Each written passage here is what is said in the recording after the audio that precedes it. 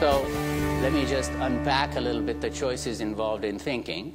You have a problem of some kind. You can blink, as our friend Malcolm Gladwell says that you often should. Okay? You can think, as not our friend Simon Blackburn thinks that you always should. Okay? You can ask, which nobody thinks of as a real choice in thinking, but that's a form of thinking as well. Think of the internet as just an extension of the human brain. Okay? Or you can wink, right, which is my mnemonic for reframing the problem. I don't want to think about this problem, I want to think about a different problem altogether. And you can do also what most humans do, which is delay. Okay?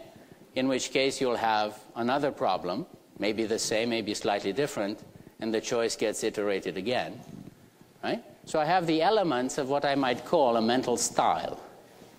Right? It's worth understanding what do you do when confronted with a problem? Do you go and ask? Do you blink? You make a gut decision? And of course, all combinations of these are possible as well. And every single one of them is going to have a value. Your brain computes, right? It calculates, it behaves, it goes on and on and on.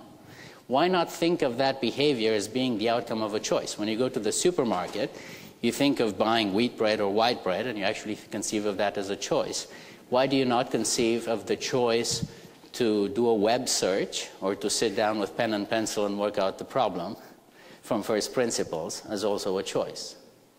Right? A lot of these choices are made unconsciously. So what the project here is, is let's try to build a model that predicts using this very, very simple paradigm, choice based on decisions, based on beliefs, based on desires, at every single level. Right? And by every single level, I mean every single level. I want to also create a choice model of, as I will show you in a minute, attending to your pain.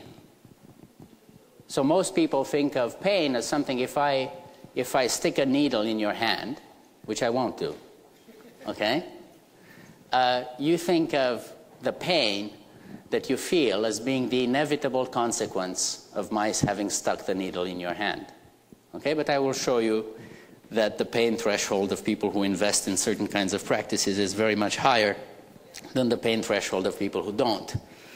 Okay, so how is that, how, is, how, how, how does that come to pass?